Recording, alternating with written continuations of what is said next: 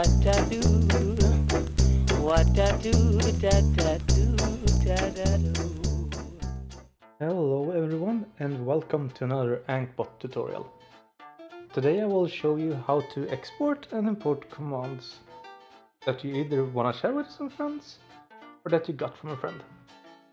We'll start by exporting a command and what you want to do is go to the command tab, click on a command or a command group, you can also export entire command groups, right click, then you have export command or export group.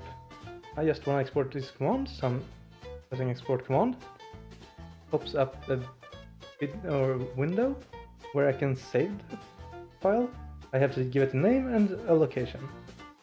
I'm gonna put this in AnkhBot install folder because it's easy and I'm gonna call this test. We hit save. Now if we go to the AnkhBot install folder we should have a test file. When we do,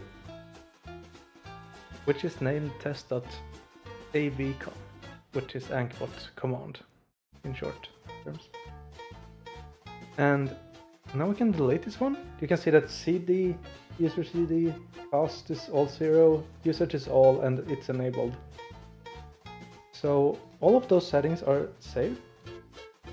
Now if we want to import this one, when I deleted it, we press import commands. We select the file, we hit open, and now the commands have been imported. You can see test command is back, cooldown, user cooldown, cost, usage, and enabled is all as previous. So to recap, to export, right click the command, export command or export group, works the same way. And to import, press the import button on the top right corner, select the file and hit. That's all. Thanks for watching.